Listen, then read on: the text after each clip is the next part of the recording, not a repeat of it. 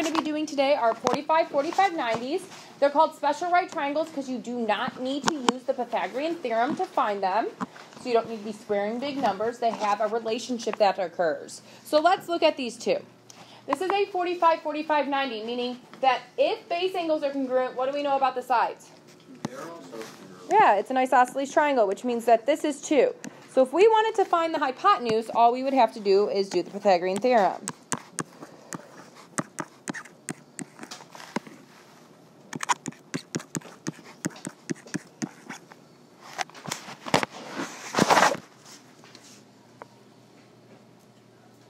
didn't even give it to you in the right way to be able to right. So then we can take the square root of both sides and simplify it. Since this is not in context, you may not just plug it into your calculators. You have to do the factor trees. So I get x equals 2 square root of 2.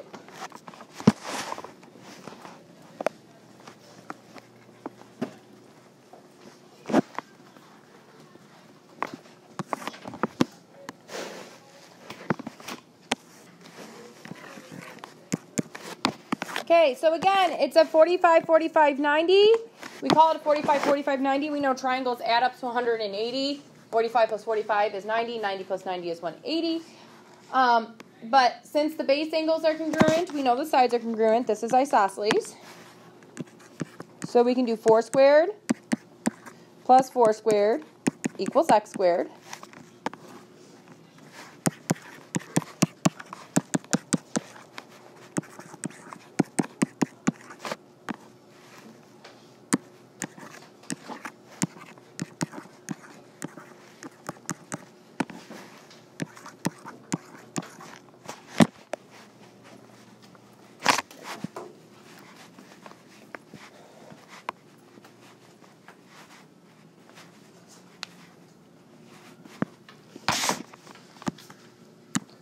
So I have x equals 2, not 2, 4 square root of 2. So look at your two answers and look at the side lengths that we knew at the beginning. What is something you notice about both of those hypotenuses? Um, I don't even know what the plural hypotenuse is right now. Yeah. Yeah, what do you notice? The, the radical is the same, they're both radical too, right? So that's the first thing. What's the other thing you notice, Tucker? So this is a 2 here, right? And in front of the radical 2 is a, this is a 4 here, and in front of the radical 2 is a 4.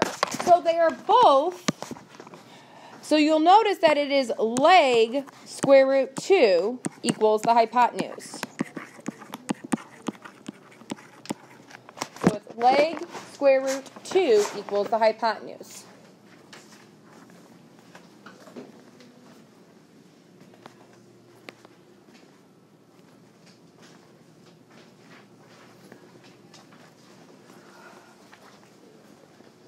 Okay, when you're ready, you can flip.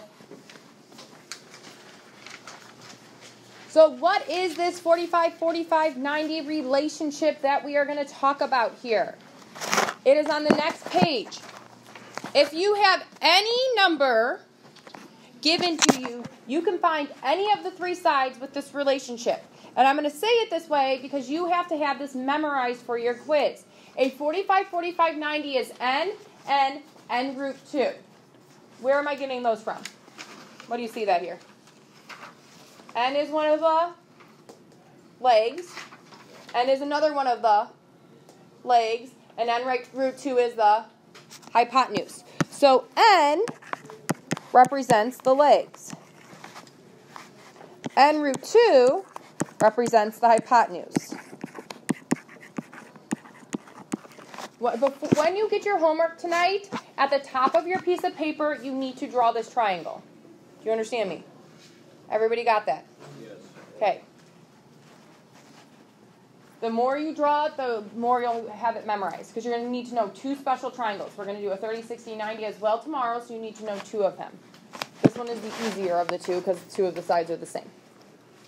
So how are we going to use this to find sides? And this is where it gets confusing. So please, please, please stop me if you have questions, okay?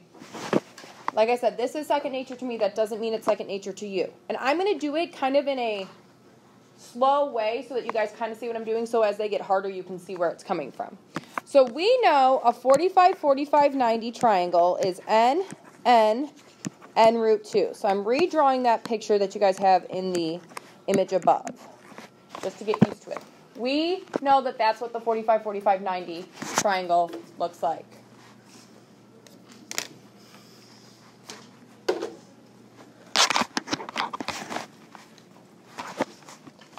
So we are going to use these pieces and label all of the lengths on our triangle this way.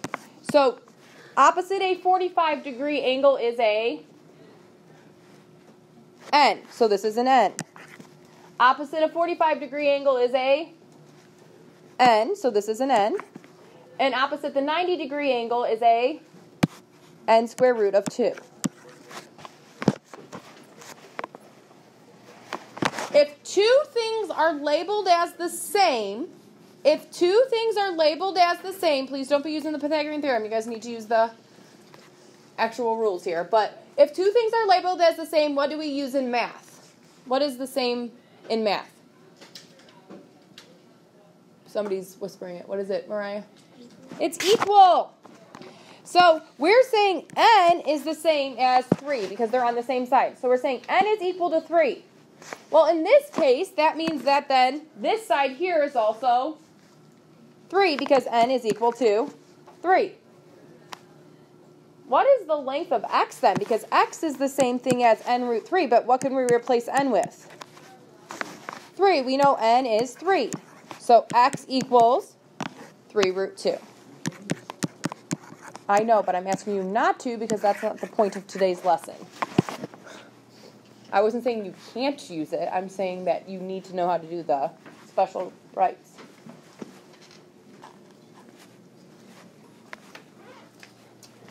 Okay, so it's easy if you're given one of the legs because the hypotenuse is just a leg radical 2. So it's just 3 radical 2. It gets more difficult when you're given a hypotenuse. So again, we're going to label this. Opposite a 45 degree angle is a Nope, not. It's a leg. And we label legs with what letter in this case? So this is N. This is N. And what's opposite the 90 degree angle? Which is labeled as N square root of 2. So if two things are on the same side, that means that they are the same length. If two things are the same in math, what do we do with them? We set them equal to each other. Well, n equals x does not help us, does it? Because that's two different variables. But we have an we have an equation here we can solve for. Do you see how we have n square root of 2 is equal to 10? Can we solve for n in this then? Look at this. n square root of 2 equals 10. How could I solve for n? What would you tell me to do? What would you tell me to do to solve for n? Jordan? You don't want to square root it.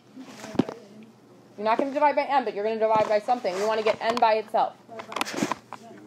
We're going to divide by radical 2 because they're being multiplied. The inverse of multiplication is, what's the inverse of multiplication? Division. So this gets n alone. I have a problem though. This can't be our answer. Why can't this be our answer?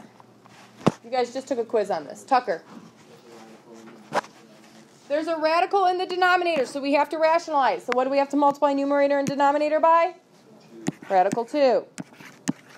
Some of you guys are probably lost, so I'm going to step back after this and I will go over it again, so don't worry. So 10 and radical 2 cannot be multiplied together, so that's why it's just 10 radical 2. One's inside, one's outside. Both are inside. 2 times 2 is 4. Can't do a factor tree there, but I can here.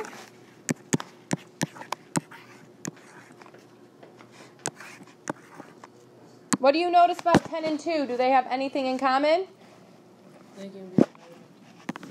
They both can be divided by 2. So this is actually 5 root 2. So we know that n is 5 root 2. So what do we know n is the same thing as? x. So do we know what our legs are now? What are they? They are 5 squared root of 2. So this is where it gets confusing because you don't want it to have a radical on the legs because it doesn't look that way in this image, but it's okay to have that.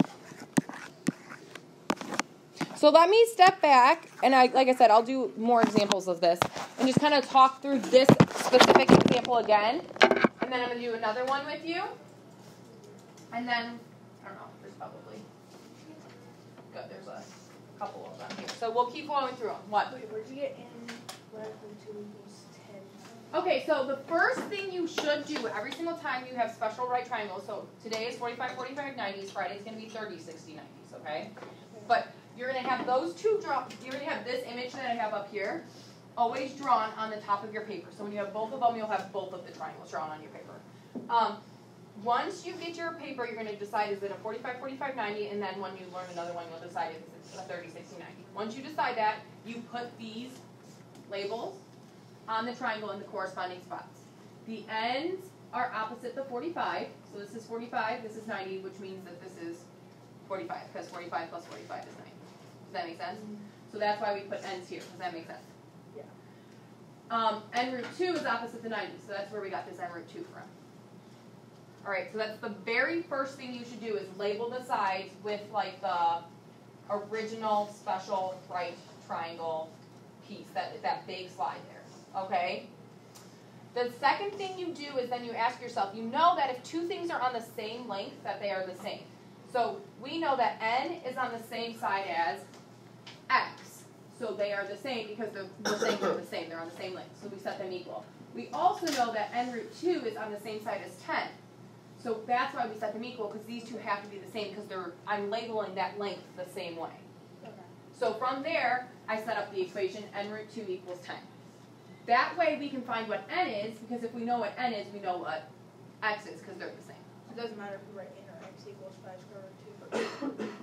Um, technically no. If you told me that five root two was the answer, I would just be happy that you got to that answer. I mean, so, like if it was an upper level class, I would probably be a little bit stricter with that stuff. But for you guys, I'd be like, oh yes, you got it. So, you know what I mean? It's one of those things that the technicalities things I get, I would get stricter and stricter by based on like the level of the class. But does that make a little bit more sense? So then we just divided by root 2 to get n alone, but we had to rationalize because you can't have a radical in the denominator, so that's what we did. Simplified, 10 divided by 2 is 5, so that's why we got our answer is that. So let's try this again. So, on the 45, 45, 90, we first label it with these pieces. So this is the same as, what would I put here? Okay, Alana says n. Do you guys agree? Okay. Brandon, Beeman, what would I put on this side? What? And it's opposite a 45 degree angle. Ben, what would I put on this side?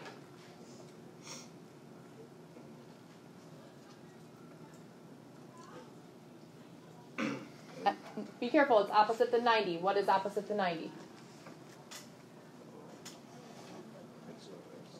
Nope. Opposite 90 here is. We're always referring back to this image here. For you guys, you have like the big one above it. So I just redrew it here. But we're always referring back to this image here. So opposite of 45s, we put n's. Opposite of the 90, we put. So this is a 90 here. Opposite there is n root 2. So we're just referring back to that image. So when two things are on the same side, that means they're the same length. And if two things are the same in math, what sign do we use? Equal. So we're saying n is the same as x, and 3 root 2 is the same as n root 2, right? Well, n being equal to x means there's two variables. We can't do much there. But there's only one variable in this equation here we created. So we can solve for that one. So I have 3 root 2 equals n root 2. So I just need to get n alone. What would you tell me to do, Dylan, to get that alone?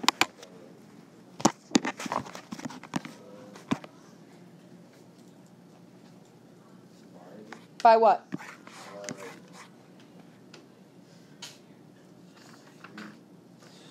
We're trying to get n alone. What is multiplying with n? Not 2. What is multiplying with the n? That's not just 2. That's root 2. So the inverse of multiplication is, so what do you need to divide by on this side? Root 2. What do you notice though on this one? Do we have to do any rationalizing for this one? Because those cancel there. What else cancels over here? Don't those also cancel over here? Do you see that?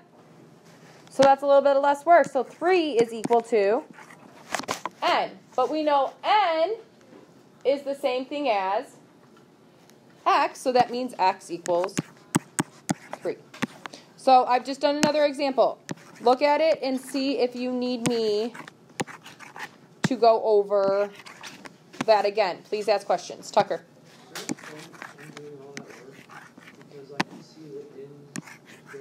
So, no, okay. Here's the thing. I do this because not everybody can see that. All right? I need to, as a teacher, I have to create a way that teaches every single person in this room. If you can see it without that work, it is fine. Like for me, I can stare at these problems and I can just tell you the answers. Does that make sense? Because I know what's going on with the problems. For some of you, you might have already picked up on that. Others of you may never pick up on that, and that is fine. That's why I'm giving you a way to do it if you can't pick up on it that way. Does that make sense? I, when I was in high school, my teachers did not show it to me this way. They made us like just memorize and figure it out like the other way. And I want you guys to be able to do it without that. Does that make sense? But what Tucker was saying with this one is he noticed right away that this is a 3 in front of a root 2. And since this is n root 2 here, that that must mean that these are 3. Now that's not as easy on this one here, right, Tucker? Because this doesn't have a root 2 in it. So you'd have to figure out how to get that root 2 out of it. Do you see the difference there? Yeah. Okay. We Yeah. can use that when we're doing the hypotenuse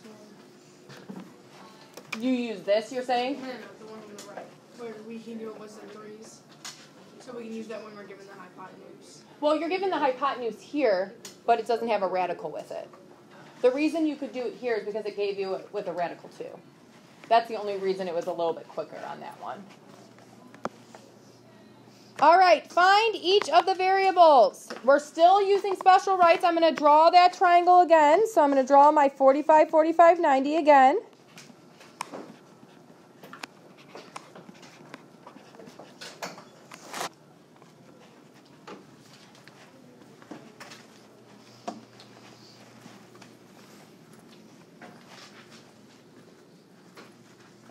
Okay, so the first thing I told you guys you need to do is label the sides. So, Hannah, what is this side labeled as? N. Landon, what is this side labeled as? That is labeled as blank. I have it over here. It's not blank. What is it going to be based on this one? Remember, we put this triangle on every single one of our triangles, which is that main page. You always refer back to this triangle in your notes and you label all of the sides with these variables. Does that make sense? So- That's going to be N. Perfect.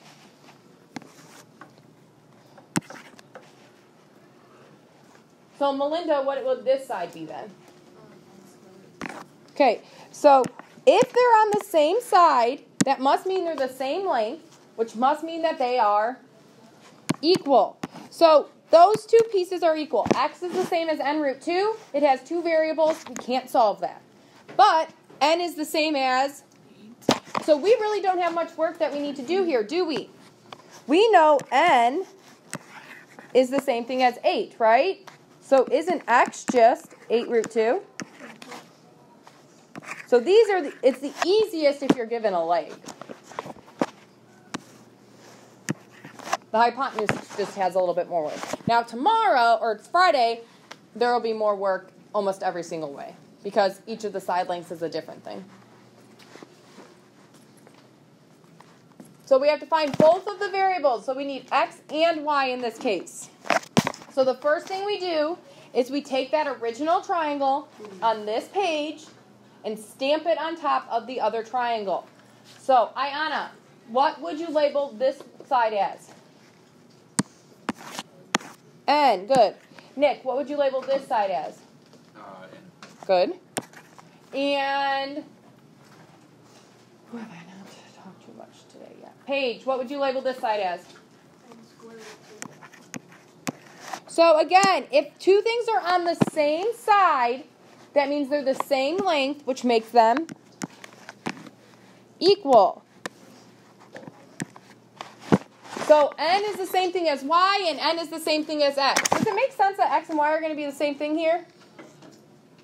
Yeah, because this is a 45, 45, 90, making it isosceles, so shouldn't those two lengths be the same anyways? So it makes sense that they're both that way. So in this case, what are we going to have to do? Can somebody raise their hand and tell me what I need to do to figure out what n is? Because it's not as easy in this case. What are you going to have to do? Tucker?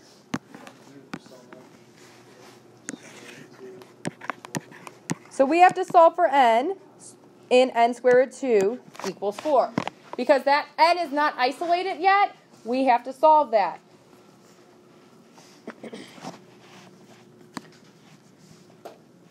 So, Cameron, what would you do first to solve for n here?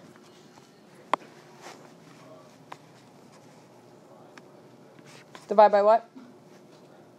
Good. In this case, do we have to rationalize? Do we have to rationalize this one? Bryce, how do we rationalize this one?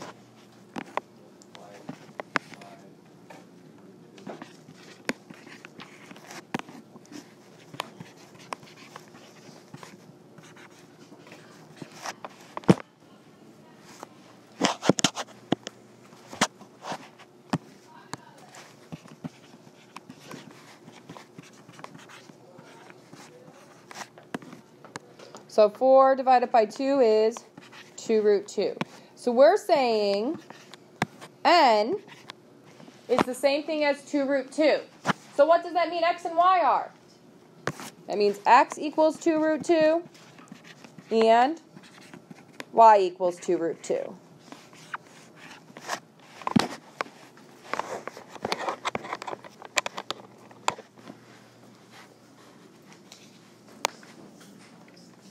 I know, that's what I'm always concerned about. It's like you guys leaving. But you guys should have like 20 ish minutes, maybe a little bit more to work on homework.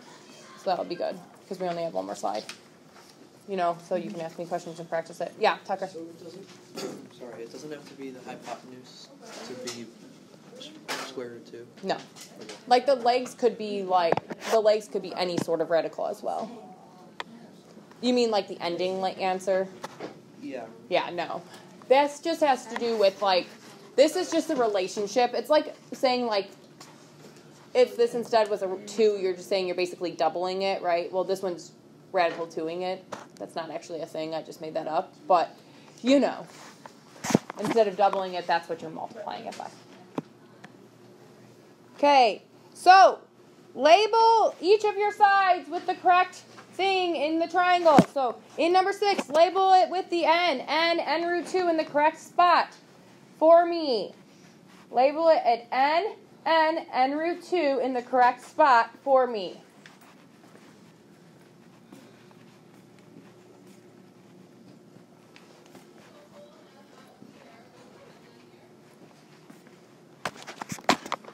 See if you can do it. Put the n, n, n root 2 in the correct spots.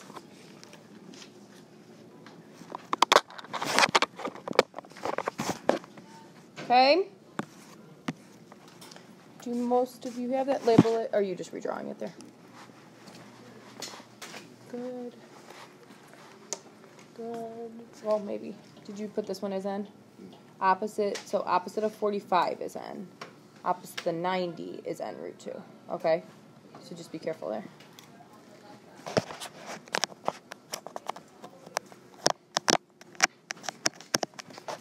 Oh, I thought it said three. I was like, where are you getting n root 2 from?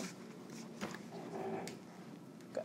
Okay. I think most of you guys understand the labeling part. Do you have an equal sign between your n and your root 2, or does it just say n root 2? Okay, I just want to make sure you. I was probably accidental, but that's okay. So most of you guys did a good job. It's opposite the 45s are n's, and opposite the 90 is n root 2. If they're on the same side, we can set them equal to each other.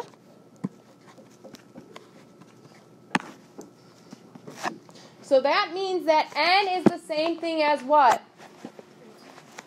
Which means that x is also 3 squared of 3, right? How are we going to be able to find what y is then? What do we do? What do we do with that 3 root 3? Where do you put it in for? n. So you take this and you put it in for n. So we have y equals 3 root 3 times radical 2. We're just substituting in for the n. You already know n is 3 root 3, so you're just replacing that. We can multiply the, the radicals together, so that becomes 3 square root of 6, and you can't simplify that. There's no way to do so.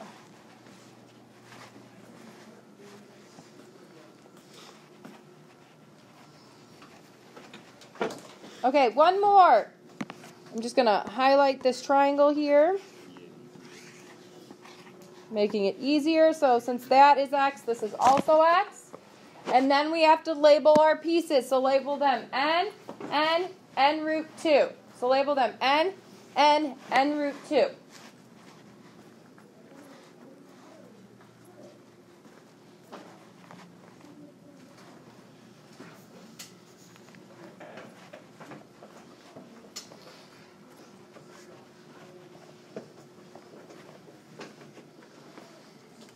Do it in this triangle here because this is the one that has the X, okay? Like the one that I have highlighted in purple. Do you see that? So label that one. Good.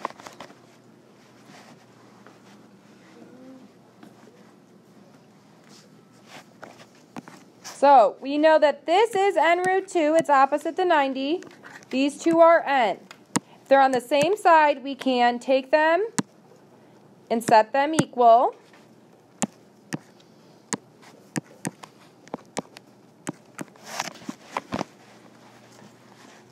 X is the same as n, but that doesn't help us, but we can figure out what n is based on this one here. So we are going to take n root 2 equals 17 and solve for n. Nick, what would you tell me to do first to solve for 7, or solve for n, not 17, sorry.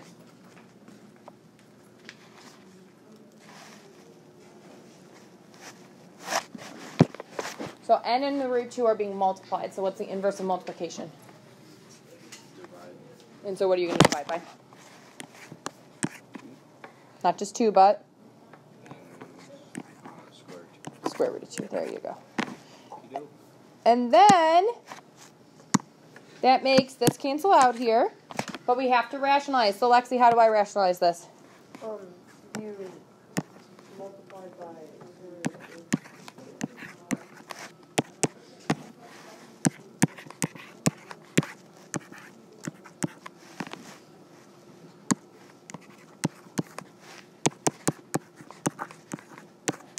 you simplify 2 and 17? No, so n is 17 root 2. So that means x equals 17 root 2 over 2. Sorry, I forgot the over 2 the last time I said it.